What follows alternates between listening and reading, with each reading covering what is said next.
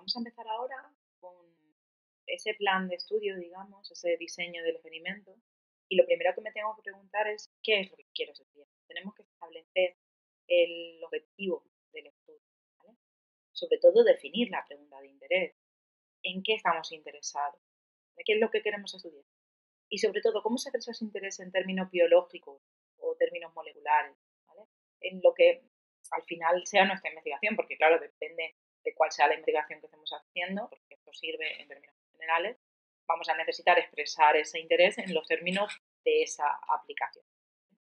Entonces, en términos biológicos, pues a lo mejor si estamos estudiando genes, lo que queremos saber es si la expresión del gen es diferente en dos grupos dependiendo de una determinada enfermedad, de tener o no tener la enfermedad, mm, o de un comportamiento ante eh, el medio ambiente, por ejemplo.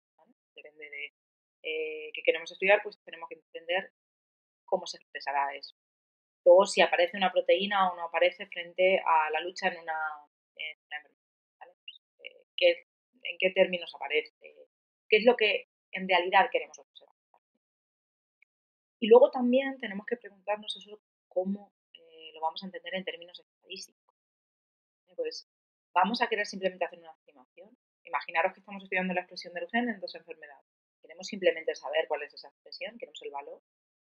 Lo que queremos es modelizarlo, es decir, quiero saber cómo cambia la expresión del gen en función de algunas covariables o cómo evoluciona en el tiempo. Si es un contraste de hipótesis, a lo mejor simplemente quiero saber si la expresión es diferente. No me importa qué valor tenga, quiero saber si es diferente en un test o en otro, ¿vale? En, perdón, en unos términos de la enfermedad o en otro.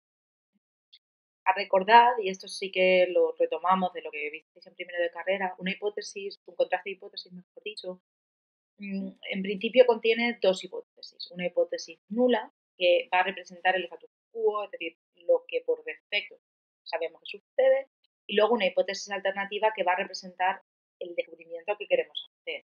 ¿eh? Pues, por ejemplo, si estamos hablando de esa diferencia genética, en principio nosotros partiríamos de la idea de que todo el mundo tiene exactamente el mismo, eh, la misma expresión de un determinado gen y lo que vamos a ver es si para personas que difieren únicamente en que tienen o no tienen la enfermedad, si existe realmente una diferencia en esa expresión y esa diferencia estaría en la hipótesis alternativa, que es lo que queremos. Luego tenemos que entender cuál es la utilidad y la posible aplicación de eso que queremos sacar. empezar a buscar biomarcadores eh, sin don ni son, sin saber muy bien qué estamos haciendo, pues tampoco tiene sentido. Entonces, ¿en qué medida va a ser útil aquello que queramos descubrir? ¿Y para quién lo va a ser? ¿Cuál es la población? Y esto es muy importante. Nosotros podemos querer buscar un biomarcador, queremos, podemos quererlo buscar en una eh, población general, pero a lo mejor no nos interesa realmente eso, sino que lo que tenemos que hacer es trocear el problema, por así decirlo, y decir, bueno, vamos a pensar solamente en ese público objetivo, esta población objetivo. Y vamos a ver si para estas personas concretas, imaginaros, una franja de edad, pues para esta franja de edad es útil ese biomarcador, me va a poder ayudar a, a descubrir algo a resolver el problema, a mejorar algo. Eso hay que tenerlo muy claro. ¿Cuál es la importancia de establecer correctamente el objetivo? Mucha, porque si no, no podemos seguir los pasos de diseño. Necesitamos conocer qué es lo que queremos Necesitamos conocer dónde queremos llegar, o por lo menos qué camino queremos seguir para llegar hasta ahí. Porque si no, eh, es imposible ni determinar qué las variables que queremos medir, ni los métodos estadísticos que vamos a utilizar, ni nada. O sea, necesitamos tener una idea de qué es lo que queremos.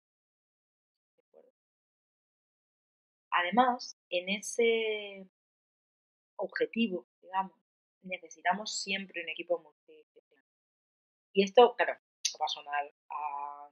Se quiere vender la estadística, bueno, tomarlo como queráis, pero es cierto que no solo desde el punto de vista de la estadística, sino desde todos los puntos de vista, si yo quiero realizar un experimento, lo que necesito es tener un equipo multidisciplinar donde se cubran todas las necesidades de ese experimento. Desde el que sabe perfectamente eh, controlar las máquinas, a el que sabe realizar los eh, análisis estadísticos correctamente, a quien sabe de biotecnología sabe de lo que estamos estudiando, médicos que sepan de la enfermedad que queremos abordar. Y todas las personas que sean necesarias de distintas áreas, distintos eh, tipos de estudio para poder realizar o llegar correctamente al objetivo del experimento. Y cuando ya tengo claro cuál es el objetivo, tengo mi equipo multidisciplinar, lo tengo todo, entonces de todo lo que tenemos que vivir es qué es lo que vamos a medir, ¿Qué tengo que medir?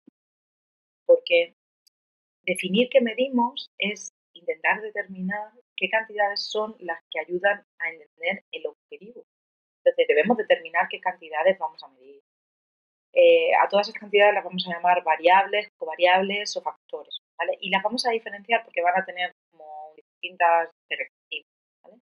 Eh, decir que em, saber las variables nos ayudará a saber qué análisis vamos a realizar, pero además el análisis que queremos realizar nos va a ayudar a entender qué variables y cómo las tenemos que medir. Por ejemplo, si queremos aprender a clasificar muestras, pues necesitaremos recoger las variables que creemos que nos van a ayudar en la clasificación y luego eh, recoger exactamente qué valor tiene pues, esa variable de clasificación. Imaginaros, si yo lo que quiero es entender cómo funciona la expresión génica para determinar si alguien va a estar enfermo en un futuro o no, ¿vale? pues primero necesito recoger esa información genética y luego además recoger si la persona acaba estando enferma o no. Y esa información va a ser eh, la que yo necesite recoger. Si yo lo que quiero es cuantificar una cantidad, pues, por ejemplo, la altura de una persona, pues yo lo que voy a hacer es simplemente recoger medidas de altura y con eso pues eh, podré hacer resúmenes numéricos, podré estudiar si es diferente entre dos grupos, pero es simplemente una única cantidad. O si lo que quiero es medir la evolución temporal, lo que tendré que coger es al individuo mm, a lo largo del tiempo eh, varias veces, o la muestra varias veces a lo largo del tiempo. Y eso también será eh, determinante a la hora de decidir qué vamos a medir, que además de medir la variable que sea que queramos estudiar, pues tendremos que medir el tiempo o apuntar, digamos, el tiempo en el que las estamos midiendo.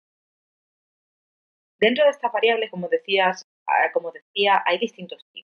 La más importante o la que más nos tiene que sonar siempre es la variable respuesta. La variable respuesta es aquella que resume realmente eh, el objetivo pues si yo estoy midiendo expresión génica, pues será la expresión génica. Si lo que yo estoy midiendo es una cantidad en sangre, un valor en sangre, pues será eso. Si lo que estoy midiendo es si la persona está enferma o no está enferma, pues será una variable que me dirá si la persona está enferma o si no lo está. Y luego, ¿de qué tipo es esa variable? De las que os he definido, había de varios tipos. Pero para que hagamos un resumen general eh, y que entendáis cuál va en cada tipo, fijaros, yo puedo tener variables que las puedo clasificar como continuas o como discretas. Una variable continua aquella que es un número que puede tomar realmente cualquier valor. Por ejemplo, la altura. Estamos hablando de la altura. La altura, en principio, puede tomar cualquier valor de 0 a, pongamos, 2, 3, 4 metros, infinito, porque no sabemos cuál es el límite, pero es continua en el sentido de que puede tomar cualquier valor. Aquí normalmente suele surgir la duda de Vale, pero si yo mido en centímetros y me quedo en centímetros sin poner decimales, también es continua. Aunque sí que es verdad que ahí la estamos, entre comillas, discretizando, pero es una variable. Porque podría tomar realmente cualquier valor en medio de entre 1, o sea, 160 centímetros y 161 centímetros hay un montón de valores. Y aunque la hayamos medido recortando el número de decimales, está en esa, en esa línea. Y luego puede ser discreta en el sentido de, pues, o bien estamos midiendo, por ejemplo, el color de ojos, pues pueden ser marrones, verdes, azules, y es una variable discreta. O también podemos hablar del número de crías en una camada de una especie de ratón. Y también es discreta porque puedo tener 0, 1, 2, 3, lo que sea. En la otra clasificación que se hace de las variables es entre cuantitativas y cualitativas. Cuantitativas son aquellas de las que os he hablado ya, que son numéricas, que representan una cantidad, digamos, y luego están las cualitativas, que lo que representan es una cualidad, por ejemplo, el color de ojo. Aquí da igual que sean discretas o, continuas, las continuas siempre serán cualitativas, o sea, perdón, cuantitativas, eso sí, porque siempre miden una cantidad, pero las discretas pues, pueden ser o bien también cuantitativas como el número de crías, o pueden ser cualitativas como el color de además de definir cuál es la variable respuesta, una cosa que es importante que nos planteemos cuando vayamos a hacer un experimento es cuál es la cantidad que tengo que detectar, qué valor quiero observar, sobre todo cuando vamos a hacer un contraste de hipótesis. Cuando yo voy a hacer un contraste de hipótesis, por ejemplo, para determinar si la expresión génica es distinta entre las personas que están enfermas y las que no lo están, ¿cuánto de distinto tiene que ser ese, ese gen para que a mí me merezca la pena detectar? De eso, que llamamos tamaño del efecto, vamos a poder establecer el tamaño de la muestra. ¿Cuántas muestras tengo que tener para que mi análisis sea realmente efectivo? Entonces, siempre que nos planteemos cuál es la variable de respuesta, también nos tenemos que plantear qué magnitud tiene, cómo varía y en el caso de tener que detectar diferencias, pues cuál es la diferencia que queremos detectar, queremos ser capaces de observar. Después tenemos, eh, dentro de lo que ya se llaman variables explicativas, digamos, eh, pues son aquellas que nos van a ayudar a entender qué es lo que está pasando. Pero tenemos que tener en cuenta que hay ciertas variables que a veces no podemos controlar y que pueden estar relacionadas con el proceso. Eso es lo que se llaman variables de contexto. Un ejemplo de, de variable de contexto sería el género. Eh, en concreto, aquí os pongo un ejemplo de un mal diseño. Si yo no tengo en cuenta el género, si yo lo obvio, tengo un problema, porque puede ser que eh, haya una que la enfermedad se desarrolle o que la expresión génica sea diferente entre enfermedades y que tenga, esa diferencia tenga que ver también con el género, esa es una, posibilidad.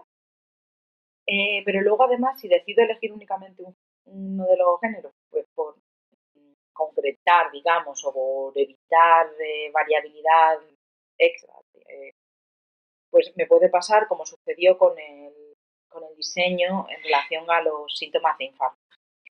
Eh, os pongo un poco en contexto, en ese diseño de experimentos lo que se pretendía era comprobar qué causaban las enfermedades coronarias y cómo se podían controlar.